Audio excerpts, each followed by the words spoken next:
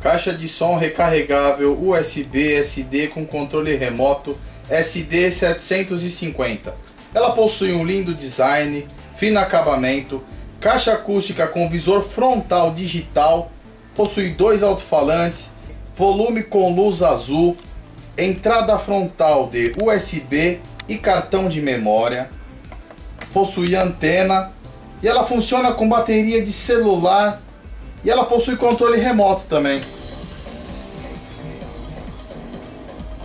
Indicada para celulares, MP3, MP4, computador e entre outros.